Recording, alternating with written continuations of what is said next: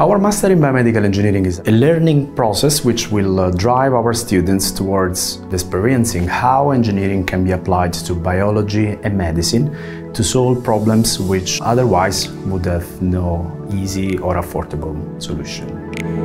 Warwick had uh, provided me high quality lectures, amazing facilities and great student services.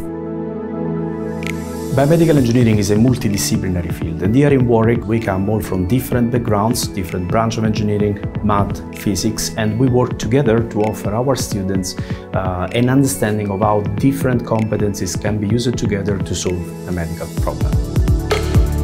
Our uh, students all have a project, which is a huge part of this program, and they have mentors and supervisors from both engineering but then also from biology and medicine.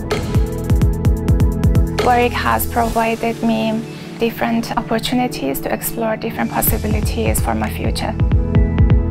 Medical device is really changing the face of modern medicine today, so you need competent people which uh, work at different levels, from the manufacturing, policy making, and into the hospital domain where our main product, medical devices, are used every day.